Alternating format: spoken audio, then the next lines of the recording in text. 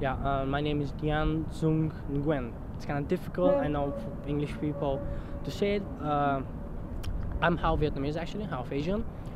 So that's why I look so young. I'm 20 years old. So um, I'm a virgin, and she, uh, about three years, or yeah, three years ago, when I was 17 on Valentine's Day, I had this experience. I had a girlfriend back then. So on Valentine's Day, it's obviously a couple is when they get tonight. It's always you know like, like a sealed deal. You know, you get there. So we're in bed and everything's going smoothly, but then it was like I don't know what happened, but she backed she backed off, and that shocked me. It was, it was really, really I wasn't prepared for that. To be honest, it was a big shock, big surprise. So after that, I always, even when I get a girlfriend, I, I, I don't know, but when it comes to that moment, it's then me who backs off. I'm too afraid I'll screw up again, and it's always been bothering me for a long time.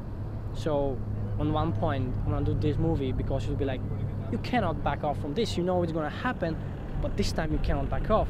Well, my main reason this movie is I want to show people from my generation and the, the new generations that are about to experience this, you know, show them what's what. You know, there's because your parents don't just go to you and say, you know, honey, or you know, son, this is how it's gonna go, and you're gonna do this, this is gonna happen. It, it, the plan is never, you know, it never happens as you plan it. So, you know, that that movie will give a valuable information.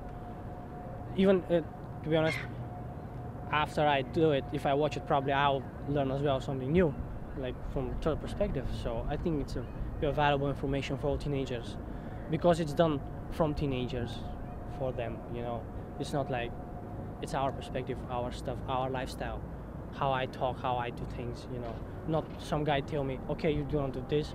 You know, it's not like a movie. The, this, I I've always wanted to to be an actor. I think I got some kind of a natural talent for it. So it's different from movie, obviously, but it would give me some kind of experience how these things work. You know, the productions and stuff. So all we know, it's I cannot lose from this thing. It's it's all positive impact on me. I get acting experience.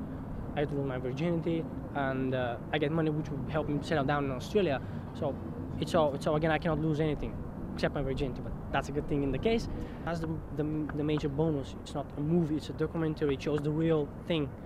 No scripts, it's just the real thing, real teenagers. People can relate to that. Even if I'm not cast, but I see, let's say I see the movie after that, see the other guy, I'm looking at this and like, yeah, you know, it's not that different from me, you know, he's still a teenager, he's still a boy, he's like me.